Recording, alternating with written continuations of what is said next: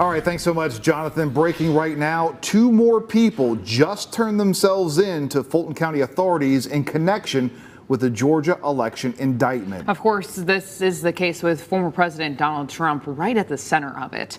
The first is former Coffee County GOP chairwoman Cathy Latham, who was captured in that video right there, escorting people into the election office. She's accused of allowing people to access voting machines. And David Shafer, the former chair of the Georgia Republican Party, now both of them are accused of being fake electors for Trump. According to our ABC affiliate up in Atlanta, their bonds are set at $75,000. Well, overnight we got our hands on these mugshots right here. This is these are the first two co-defendants to turn themselves in. Former Trump attorney John Eastman and Atlanta bail bondsman Scott Hall.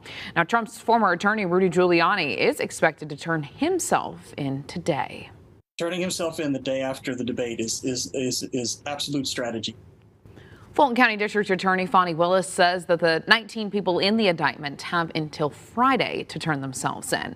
But political experts say there is a purpose behind the former president's choice to turn himself in tomorrow. So instead of news media being focused on the debate the night before, Thursday's news media will be focused on the mugshot, this fingerprinting, the turning in of Trump. I think he is taking full advantage of this idea that he's fighting against the system and that he is a victim.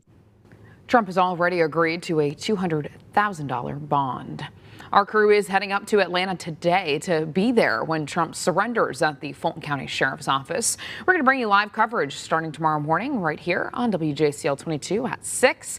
And you can always get those updates on the go by downloading the WJCL 22 News app.